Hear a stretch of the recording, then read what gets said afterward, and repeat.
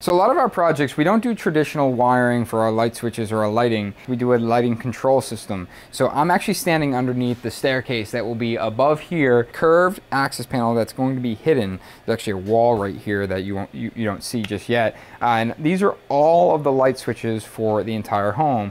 And the reason that they're here is because they don't need to function like a traditional light switch. These are all tied into what is called a RadioRA or a Lutron lighting system throughout the entire space. So what we'll have in every location is a keypad and that keypad can be programmable so you can set it where you walk into a particular space and it might just turn the light on for that room or you can set it so you can set you can turn on multiple lights. The best part is it's adaptable. So as you live here, we can change it and make it function the way that the homeowner truly wants it to function at each and every location without having to rewire because everything is located here as the brain.